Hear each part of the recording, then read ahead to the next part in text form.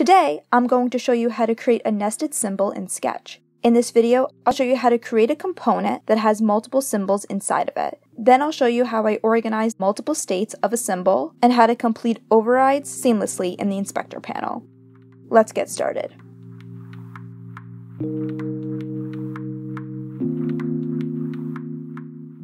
If you're new to Sketch and haven't used it much before, I recommend watching my introductory video into Sketch.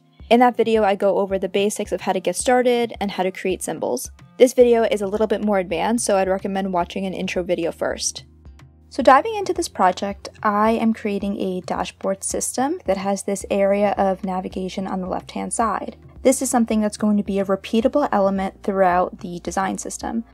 I want to make it into a symbol so it can be reused very easily. If I zoom out, there are several different pages that I'm working on in this application. I have a home section, an analytics section, trends, and messages. Those are the four main sections of the application, and then within each of those sections, there'll be substates and different sections within here. But for right now, I'm just creating the high level architecture.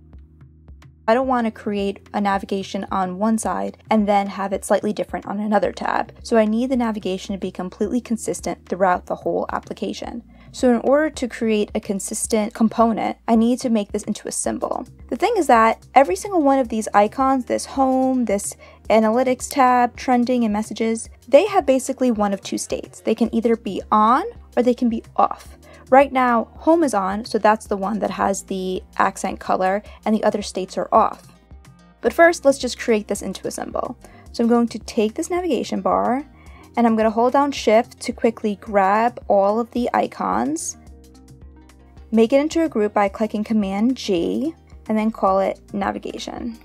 I'm going to take this navigation and find out where this guy is, this other bar, it's quite at the bottom, and hold down option and bring it to the back of that artboard. So now the navigation is at the back. So now it's a complete group, so I'm going to say create symbol, and I'll just keep it set to navigation. I'll say okay. Now that I created this into a symbol, on the right hand side is this idea of overrides. An override is something that you can complete on a symbol, which allows you to replace an element very quickly. Sketch reads these icons as text right now because I use this plugin called Icon Font, which allows you to input an icon very quickly, but it reads it as if it's text. So this area is asking me if I want to override the symbol with text because it doesn't read it as an image. But if you import a PNG or an SVG, it will read it as an image. So I'm going to double click into that symbol and now I have this navigation on the symbols page and I have the icons there. The thing is that I want to swap icons really easily so that when I'm on a different page, I can just turn the symbol on or off. So what I want to do now is that I want to create all of these icons into their own individual symbols. I'm going to grab this icon, create symbol. So now I might put it in a subsection. So I might call it navigation slash home slash on since that's the on state for home. Then I'll take this one and I'll write create symbol. Again, navigation slash analytics slash off, since I know that's going to be the off state for analytics. Then I'll take this one, same thing. When I return back to the instance, now I have this navigation, and I see that the overrides panel has now changed.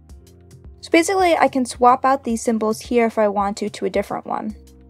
I only have an on state for home, but I want to create on and off states for everything else as well. I'm going to go into here again and make this even more organized. So I'm actually going to bring this down a bit and duplicate that symbol by holding option. So I'm going to create an off state for home and an on state for all the other ones. So I'm going to grab all these other ones, hold down option and duplicate them.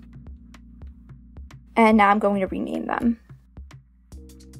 So now when I go back to the page, I see that I have this navigation as a symbol and I can complete an override. So here I see that I can turn that messages on or off. Now it's on, now it's off. Same with trending, analytics tab, and home. So now I'm going to just make it a little bit more organized so the override panel matches the order that the actual navigation appears in. So I'm going to create the home state, make that the first element, then the analytics tab. So now when I return, home is the first thing I see and home is the first thing in the overrides panel. So why did we do this? We did this to basically create consistency throughout the project. Because right now, all the other pages I have in this design system have the same navigation that I copy and pasted throughout. But if later I decide, oh, there's not enough padding between each element and I want to increase the spacing of it, I might take this, pull it down a bit, and make modifications here. And if I make a modification here, I want it to be consistent throughout the whole project. It wouldn't be because I only created the group on this page. So that's why I like to make my navigation into symbols. Instead of having this grouping independent and only once, I'm going to delete it and add that new symbol that we created. So I'm going to go to my symbols, navigation, and add that right there. And then again, holding down option, I'm bringing it to the back of the artboard. But now we're on the messages panel, and so I want to use my override panel to quickly swap out the icons so I know which state I'm in. I'm not in home anymore, so I'm going to turn home off and turn on the messages panel. And there we go. Now the navigation clearly reflects which section of the application we are in. Now I'm going to complete that for the rest of the other pages.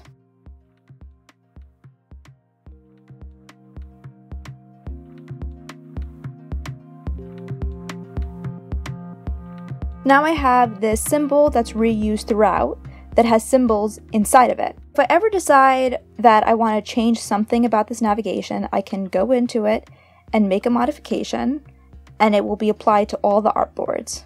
If I return to the instance, now it is applied to all the artboards and it's completely consistent throughout my project. Maybe later I want to even replace an icon that's in here. So instead of having to go to every single artboard and change the icon on every single page, Instead, at any time, I can click into it and change the icon. So I've installed this icon font plugin, so I usually just go into here and then pick an icon from here. Now I change this icon once, and when I return back to the page level, it's applied to every single page in the design. And your symbols are completely organized. So if I go to symbols and go to navigation, I see analytics on and off, home on and off, messages, and trending. This is how I like to organize my symbols so I can clearly see how many states I have per category. Nested symbols are a great way for you to be able to swap things out that you're going to use consistently throughout a project. So I like to use nested symbols for navigation, tabs, and other main components of an application. I hope you enjoyed this video introducing you to nested symbols. Please let me know if you have any questions about this topic and I'll be happy to answer them. Thanks for watching!